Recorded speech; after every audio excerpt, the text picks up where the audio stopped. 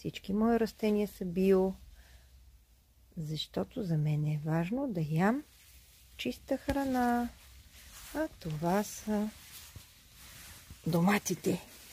Български червен домат отблизо.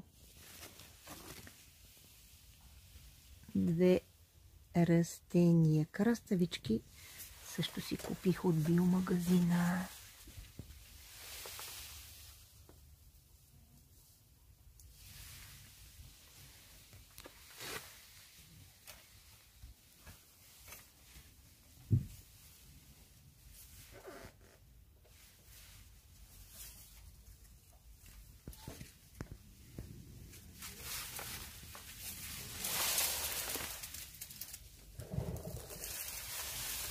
Любов за вас. Ваша Валя, Валя А. Фотографии.